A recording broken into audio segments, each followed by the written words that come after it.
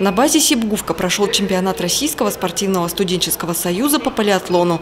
Среди учащихся высших и среднеспециальных учебных заведений из 12 регионов страны выявляли сильнейших в зимнем троеборье. Состязания по пулевой стрельбе и силовой гимнастике прошли в первые два дня соревнований в легкоатлетическом манеже университета. Юноши подтягивались на перекладине, девушки выполняли отжимания в упоре лежа.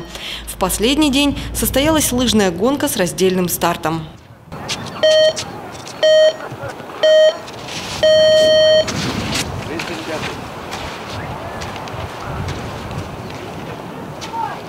Очень плотно прошла стрельба, 94 очка. Э, лучший результат показал э, спортсмен из Ешкаралы, а у девушек лучший результат 93 очка э, показала представительница Сург...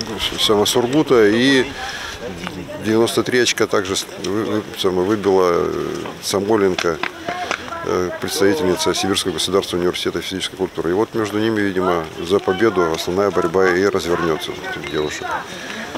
Ну а у мужчин там после силовой гимнастики результаты выровнялись, и там еще сильнее конкуренция будет. Ну а в командном зачете только лыжная гонка всех давай, давай, пошел, пошел.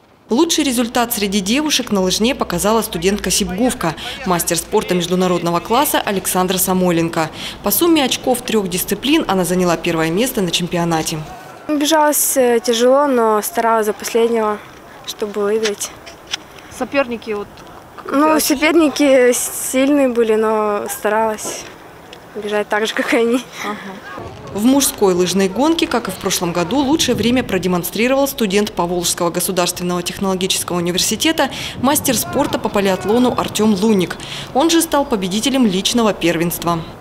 Все уже привычно для меня. Вышел на старт и побежал. Проиграл 5 баллов, нужно было отыграть минуту, справился. Всероссийские соревнования по полиатлону в Омске прошли во второй раз. Иногородние делегации высоко оценили проведение чемпионата и подготовку спортивных объектов первый раз в Омск приезжаете? Нет, мы уже второй год в прошлом году.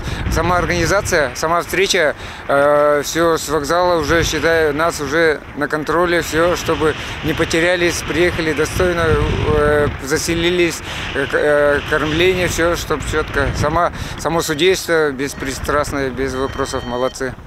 В командном первенстве среди вузов лидировали хозяева соревнований. На втором и третьем местах оказались учебные заведения Курганской области и Республики Мариэл соответственно.